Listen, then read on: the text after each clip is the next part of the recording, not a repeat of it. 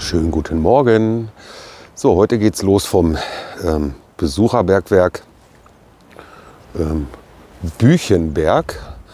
Und ähm, da wollen wir die Rundwanderung machen zu dem Zelierbachtalsperre unter anderem. Und ähm, soll eine recht entspannte Runde werden von knapp 10 Kilometer. Und da wollen wir mal schauen, was da so zu sehen und entdecken gibt. Und wie gewohnt seid ihr schön mit dabei. Verlasst jetzt hier das Auto, noch mal schnell gucken. Nicht, dass ich wieder zurücklatschen muss. so. Und los geht's. Meine Frau ist schon ein Stück vorgelaufen. Mütze sitzt schief. Ist immer schön, dass man die Kamera so sieht. Also, auf geht's.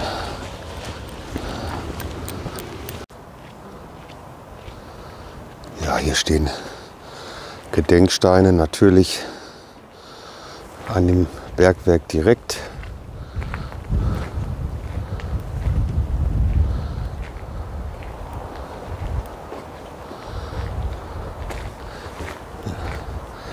So. Der Parkplatz füllt sich so langsam. Und jetzt geht's mal los. Ela ist schon unterwegs. Und hier sind schon die ersten Loren, die alten.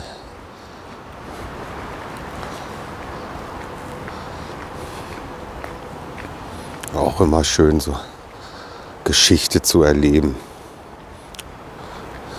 Aber so war das, ne? Ich schwenk mal um.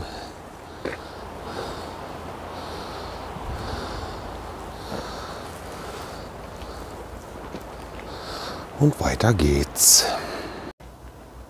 Ja, nicht weit weg sind wir am Bergwerk angekommen. Und da ist auch schon der erste Stempelkasten. Die 37. Ähm, da ist leider das Stempelgummi defekt, aber macht ja nichts. Dadurch kann man ja die Nummer eintragen und den dann trotzdem holen. So, wir wissen jetzt erstmal gar nicht, wo wir lang müssen, aber wir schauen mal. Vielleicht den schönen Bergbaulehrfahrt. Da würde ich mich ja drüber freuen. Aber schauen wir mal. Ja, überall noch stumme Zeitzeugen. Hier dieses Bohrwerk. Wie gesagt. Aber den Weg haben wir noch nicht gefunden. Wir schauen noch mal ein bisschen rum. Ja, wir sind doch den Leerpfad runtergelaufen. Sehr glitschig. Juhu. Wie gesagt, das Wasser sprudelt überall rum. Aber das ist ja nichts Neues.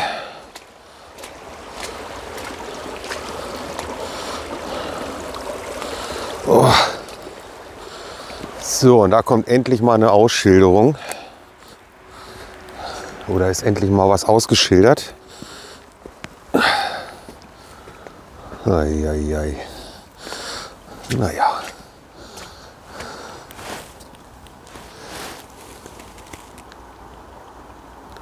Jetzt müssen wir mal gucken, ob das hier unsere Richtung ist. Das weiß ich gerade nicht. Huch, wo filme ich denn hin? Da wollte ich hin. So.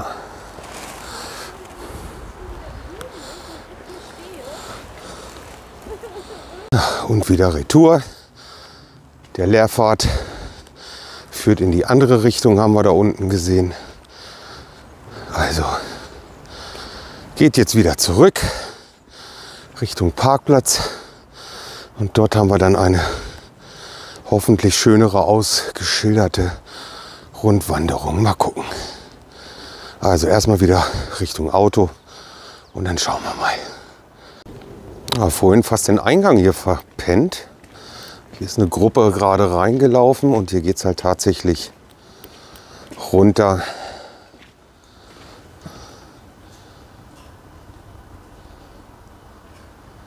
Uiuiui, sehr düster. So, wir haben uns jetzt einen Kaffee geholt. Wie gesagt, müssen jetzt zum Auto und dann geht es oben endlich mal weiter. Ich melde mich von oben noch mal. Oh, ist jetzt hier unser Weg. Hoffen wir, dass er es ist. Also da hinter den Bäumen. Da verläuft die B244, da rauschen die Autos lang. Ähm, ausgeschildert ist hier immer noch nichts. Und da hier immer noch keine Schilder sind, haben wir jetzt Google Maps angeschmissen gehabt und der hat uns hier auf den Weg geführt.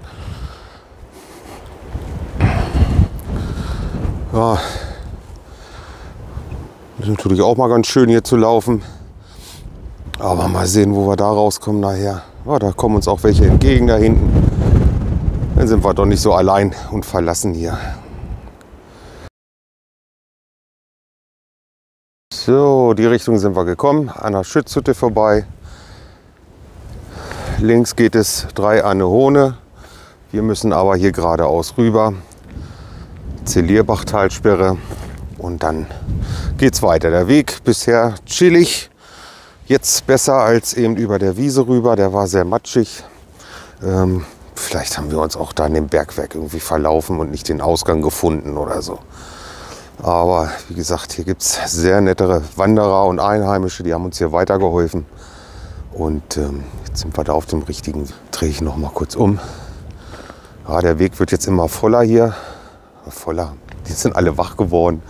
Und äh, naja, es jetzt zur Zelierbach-Talspielerin. Wird mal gefrühstückt. ja, ich nehme mal an, der Brocken ist das. Und da liegt tatsächlich Schnee und hüllt sich natürlich in den Wolken schön drin. Naja, also da liegt noch Schnee. Wer noch Schnee möchte, ab auf den Brocken. Da steht ein altes Häuschen.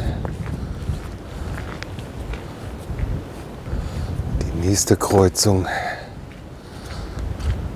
Und das ist die Eisensteinstraße, Schatz, ne?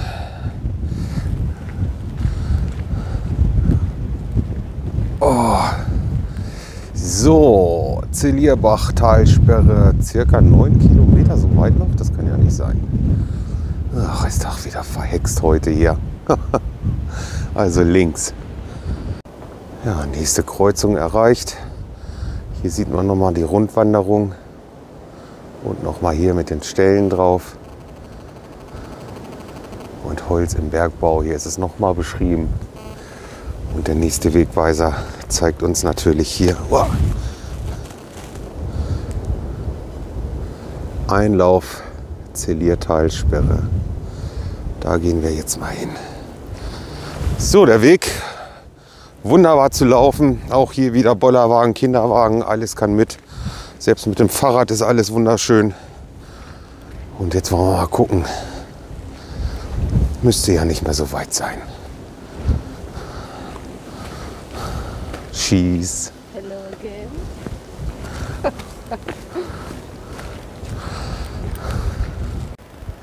Ja, weiter geht's. Aussichtspunkt Peterstein. Und immer den Brocken im Nacken und den Wurmberg.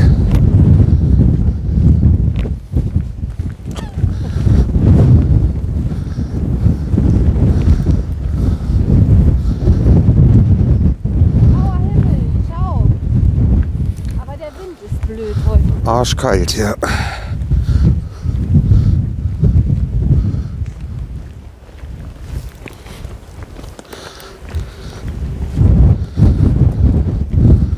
Arschkalt.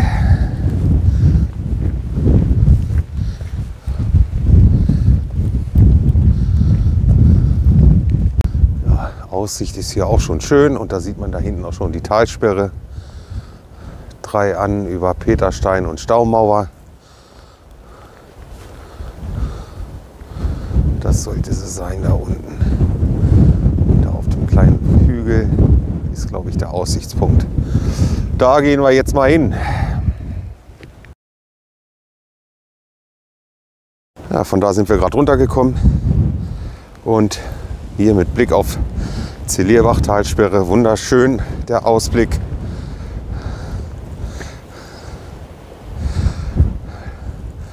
Aussichtspunkt ist hier oben. Und da gehen wir jetzt hoch, gucken, dass wir zu essen kriegen, vielleicht, dass nicht zu windig ist. Und dann gehen wir auf der Staumauer mal lang und dann heißt es Retour.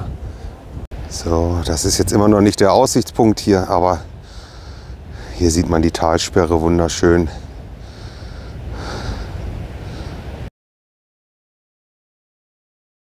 Ja, hier kann man bis ans Wasser runtergehen tatsächlich.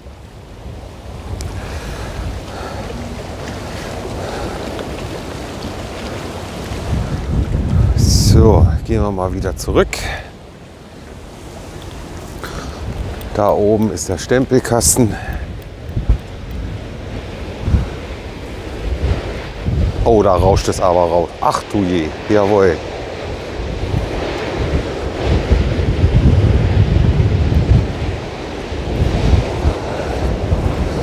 Ja, die lassen hier auch noch das Wasser ab. Schon sehr bemerkenswert.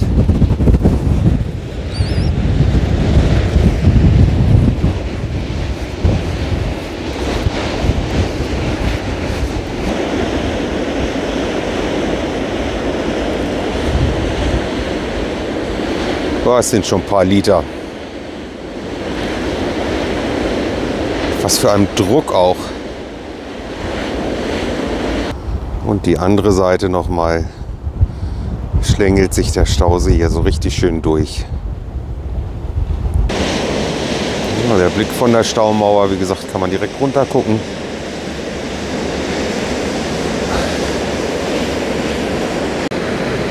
So, ich zoome noch mal ran. Stehen wir eigentlich genau drüber über dem Auslass. Das sind schon gewaltige Mengen.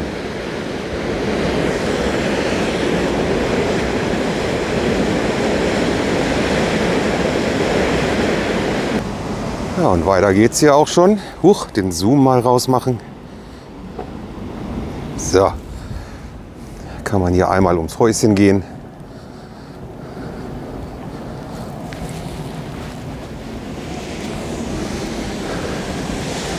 Und natürlich hier nochmal. Ja. Da oben ist der Stempelkasten. Wie gesagt, da waren wir eben. Wir konnten das nicht drehen festhalten, weil halt ähm, zu viel Besuch da war. Und weiter geht's. Ist auch schon recht beachtlich hoch. Ja, man nimmt das auch immer so wahr, aber das wäre ja eigentlich alles mal tiefster Wald gewesen. Aber hier ist nichts mehr. Na ja, gut, außer das Winter ist es logisch, aber hier die ganzen Berge alle kahl. Aber mit Bäume hätte man die schöne Felsformation jetzt hier wahrscheinlich nicht wahrgenommen. Ja, und endlich hat es der Brocken auch mal geschafft, sich zu zeigen.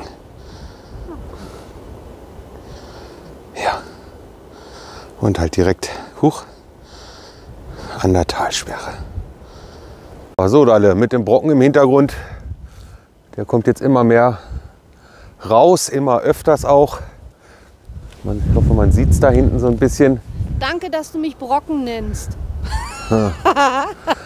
Und äh, ja, wer da heute oben ist, hat wenigstens eine schöne Aussicht, denke ich, heute. Also wie gesagt, die Lücken da oben werden immer, immer besser. Ja, Fazit von unserer Wanderung heute. Ähm, der Start hat uns, hat meine Frau eben auch schon gesagt, ganz schön verhagelt irgendwie oder vernagelt. Das war echt mühselig, hier überhaupt den Start erstmal zu finden für die Rundwanderung. Ja. Ähm, natürlich haben uns hier so Alteingesessene ein bisschen weitergeholfen, die hier mit ihren Hunden Gassi gegangen sind. Ähm, aber es war halt eine Stunde Flöten, ehe wir überhaupt anfingen, hier überhaupt loszuwandern ja, wie gesagt, hatte ich ja vorhin auch schon, wer Bergwerke mag oder so, dem mag das da sehr gesonnen sein oder der mag sowas mögen da, aber ähm, für mich war das jetzt weniger was oder für uns jetzt. Ähm, wichtiger war das Wandern und die Talsperre, also der, jetzt der letzte Teil, der war viel schöner mit dem Rauf, runter, Kraxeln und so, das war schon schön, auch wenn die Natur, wie gesagt, im Harz natürlich sehr kahl ist. Ach ja, was wollte ich sagen? Ja, für dieses Jahr gibt es jetzt kein Video mehr. Das ist hier wirklich das letzte erstmal. Startet dann im neuen Jahr und dann hoffentlich in gewohnter Weise samstags wieder. Und dann gucken wir, dass wir weitere Stempel kriegen und vielleicht schaffen wir ja auch den, was haben wir denn jetzt hier erst, den nee, den König haben wir schon, ne? Ach, keine Ahnung. Nee, noch nicht. Nee, den König sind wir kurz davor. So. Ich glaube, wir müssten jetzt bei äh, 44 oder 45 Stempeln sein.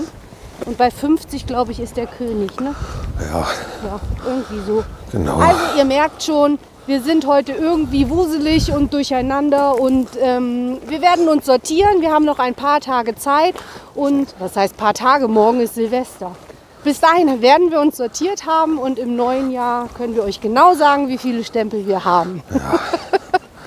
So um die, um die Mitte 40 oder so sind wir jetzt, glaube ich. Oder über, ach, ist auch egal. Naja, auch hier an meiner oder unserer Stelle natürlich euch einen guten Rutsch. Kommt gut ins neue Jahr. Ähm, ja, Vorsätze nehmt euch nicht vor, die kann man eh nicht einhalten. Und ähm, Du Zum- sollst nicht immer von dir auf andere schließen. zumindest bei mir ist das so. Ich nehme mir immer was vor und klappt immer nicht. Ja, bleibt gesund und munter. Ähm, und damit verabschieden wir uns für dieses Jahr. Ne? Genau. Guten Rutsch. Ja, macht's und gut. Wir sehen uns frisch und munter im neuen Jahr wieder. Bleibt gesund. Bis dann. Tschüss. Ciao.